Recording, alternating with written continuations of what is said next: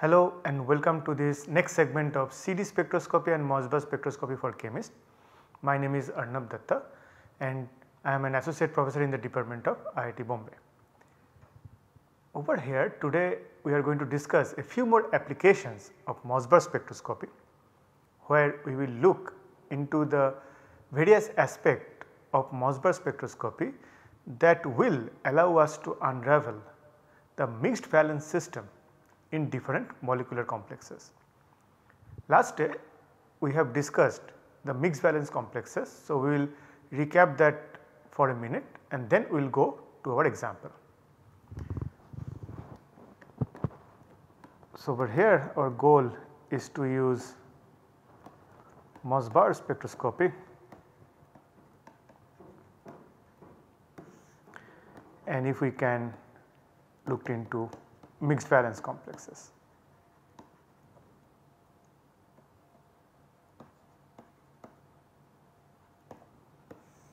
So, when we talk about mixed valence complexes, when we talk about mixed valence complexes, it come for 3 different classes. Class 1 where there are localized ions. For an example, we are taking iron plus 2 and iron plus 3. So, they remain on their original position and no further change is observed.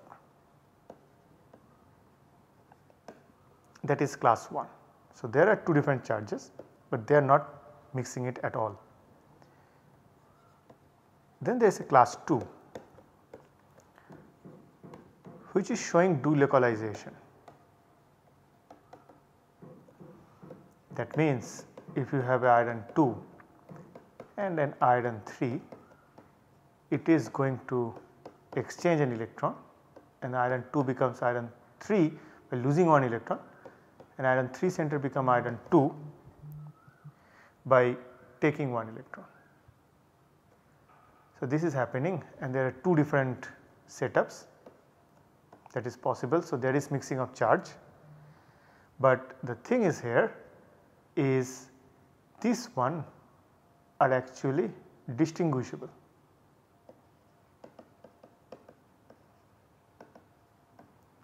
By distinguishable I mean I can still find one which one is iron 3 and which one is iron 2 I can find it out by various spectroscopic measurement. Then comes class 3, this is also delocalized one.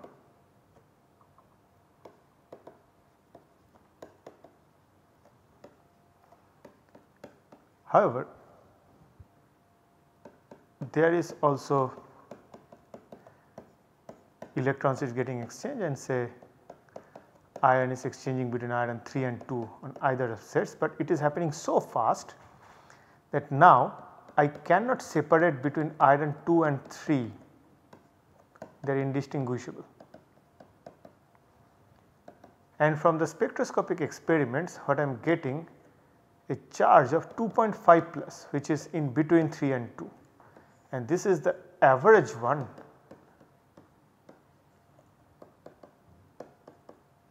That we are actually getting there in the system and this particular system is known as the class 3 which is a delocalized ion but indistinguishable between iron 2 and 3.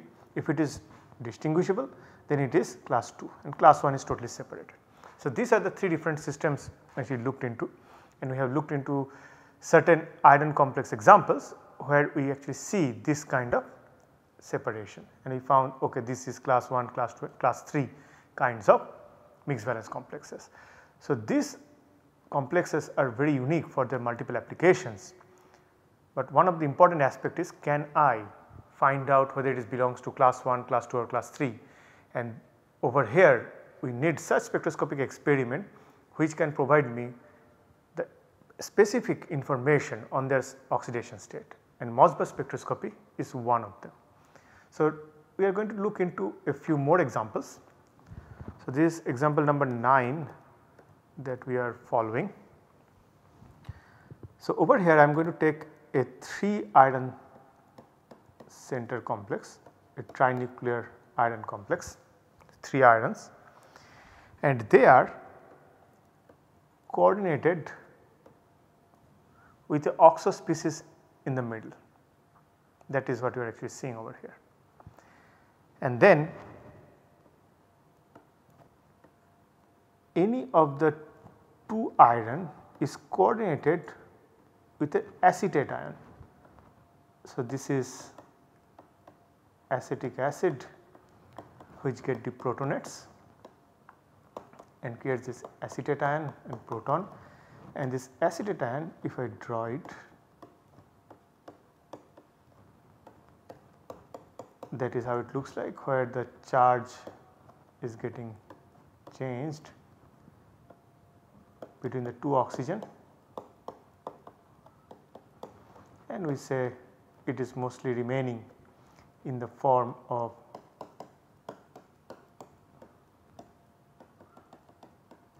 and both these oxygen centers can bind metal. So, it can act as a bidentate ligand.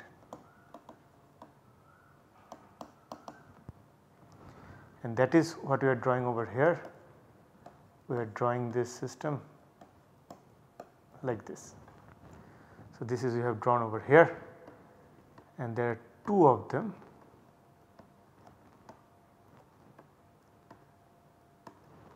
are coordinated to that. Similarly, there is one over here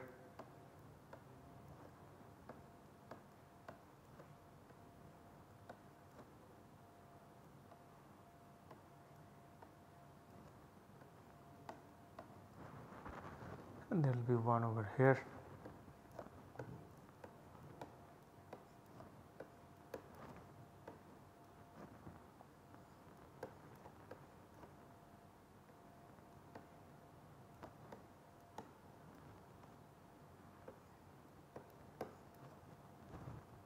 and this is how it is happening. So, you can see each of the irons are coordinated with 2 acetate.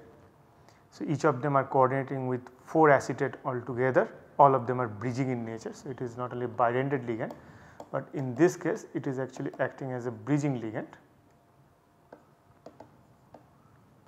which is interacting with 2 iron centers.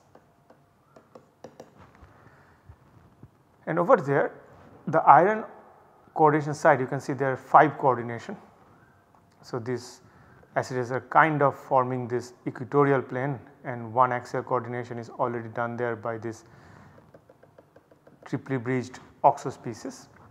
So, one of the bridging ligand is actually living over here this axial position. So, this axial position is free which is coordinated with a pyridine motif and it is a ethyl pyridine.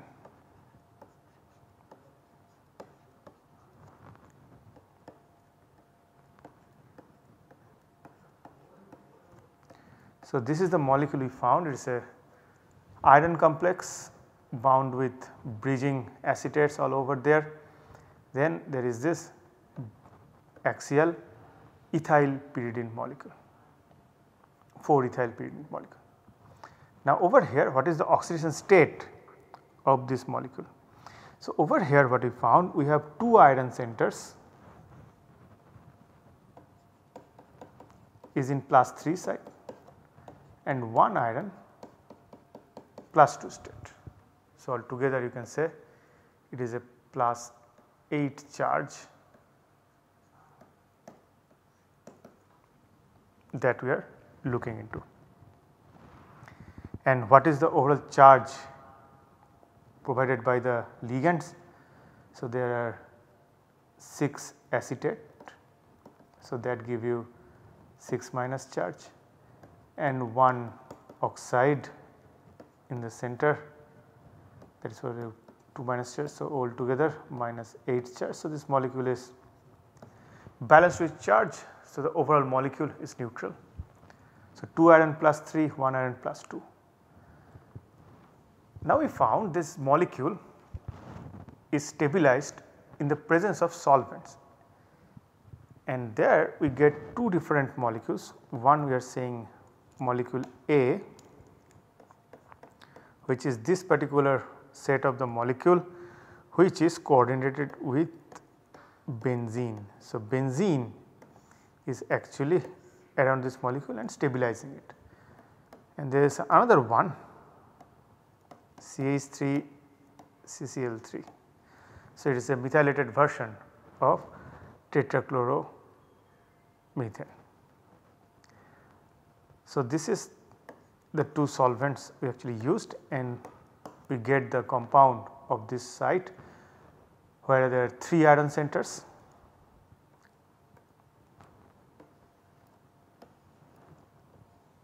and 2 of them in plus 3, one of them in plus 2. Now our goal is to understand in this molecule how these irons are interacting. Are they interacting through this oxide so that we are getting a mixed valence complex or they are much more localized and keeping their plus 3 and plus 2 intrinsic charges. So, let us find out what is the fate of the oxygen state with the help of Mössbauer spectroscopy. So, we did this Mössbauer spectroscopy for this molecule for molecule A and molecule B which is nothing but molecule A means this full molecule stabilized in benzene and this one stabilized in CH3 CCl3 and then we are going to showcase how the Mössbauer spectroscopy look for both of them. And obviously we are going to show the x and y axis for this and try to figure it out how it is actually shifting. So, the benzene molecule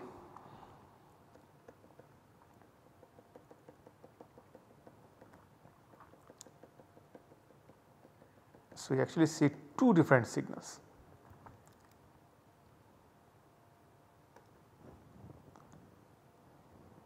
So, there is one signal over here and then this additional signal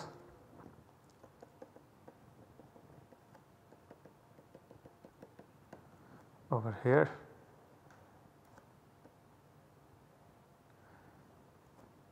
and we see these two sets of signal. So, obviously you can see that there are two different metal ions are actually represented by them one is with the red one, one is with this green one. So, over here we are seeing this red one which is the iron plus 3 system.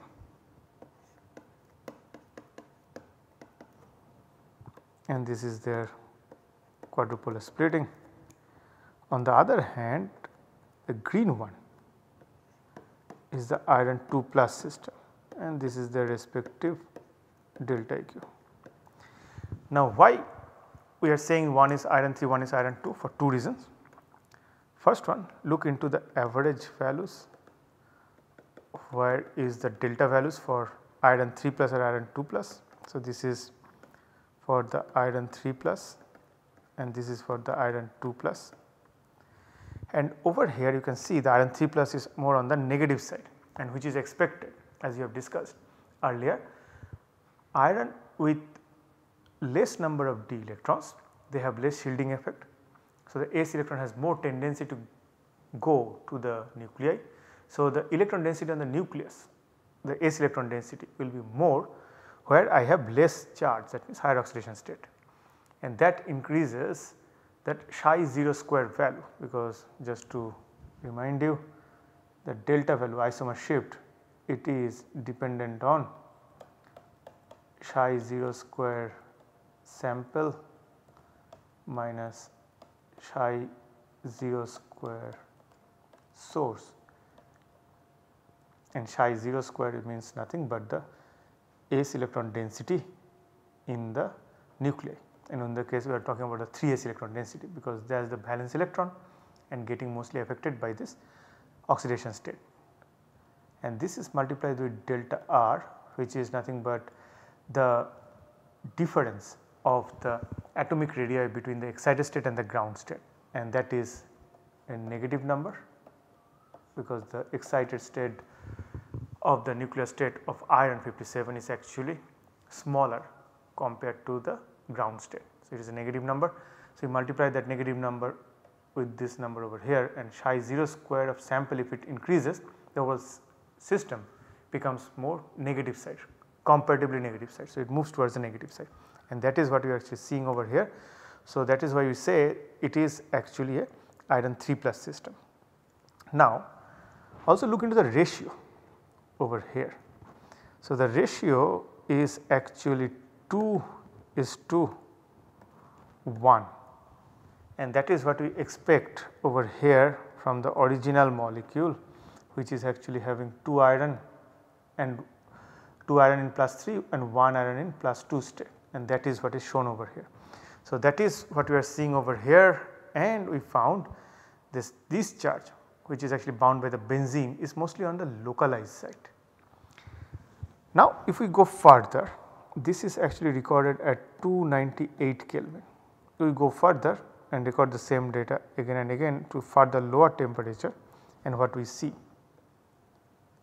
So, we continue to see that it is actually staying as it is at 298 Kelvin, 298 Kelvin I have already did. So, this is at 240 Kelvin.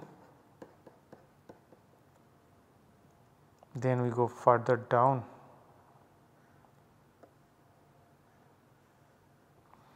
to 180 Kelvin. And it remains the same. And even if we try that at 120 Kelvin it remains the same. And what happens to this iron 2 it also remains the same with a ratio of 2 is to 1 compared to this iron 3 plus signal.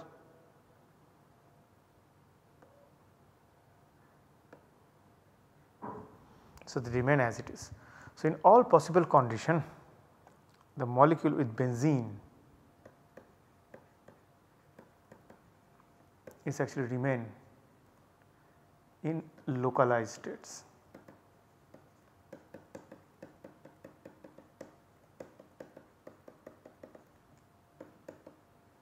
That we are actually observing from the Mössbauer spectroscopy. Now if we go further with the CH3 CCl3 molecule what do we observe? So for that when we do Mössbauer spectroscopy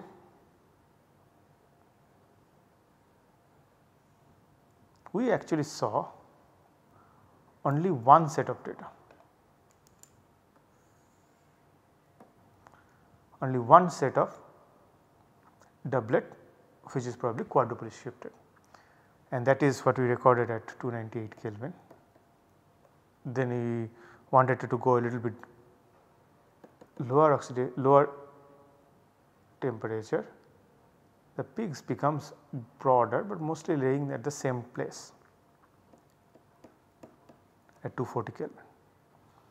Then we went further down and there we started seeing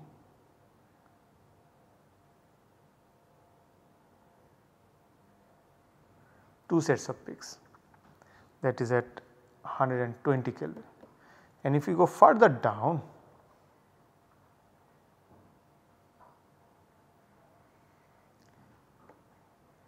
there we see nicely splitted two sets of doublets. So, this larger one is the same one we observed over here for the iron 3 plus whereas the smaller one representing the iron 2 plus. And this is what we are seeing at 80 Kelvin. So, at 80 Kelvin temperature at very low temperature we found that yes my molecule is now localized.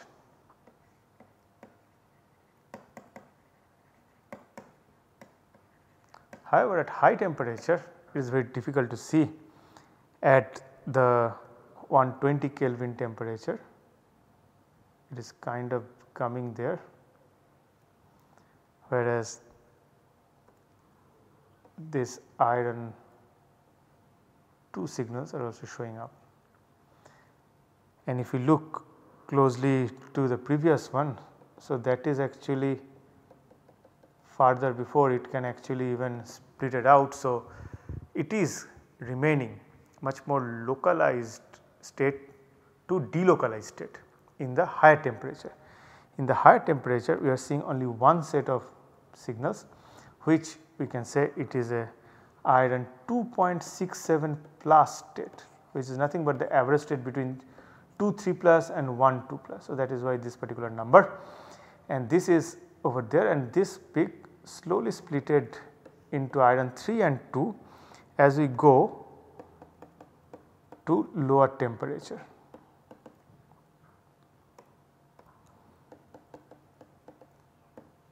So, we can say in the presence of CH3 CCl3 it is actually delocalized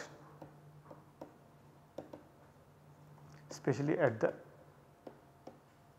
elevated temperature.